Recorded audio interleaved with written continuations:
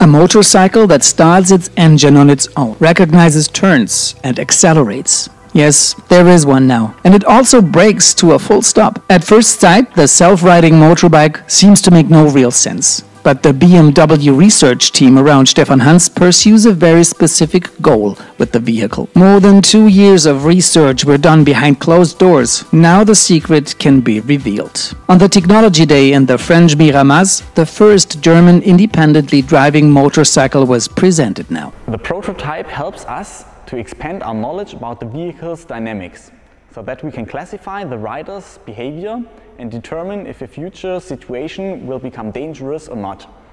If so, we can inform, warn or intervene directly. The aim of the scientists is to enable a motorcycle to support inattentive drivers in dangerous situations, at crossroads, when turning off or braking quickly. Similar to what cars do already. In this project, it was not our goal to develop a fully automated motorcycle. We want to improve motorcycle safety. It's the proof that the underlying dynamic model is detailed enough to cope with the whole riding dynamics. So we can use that knowledge to develop further comfort and safety systems.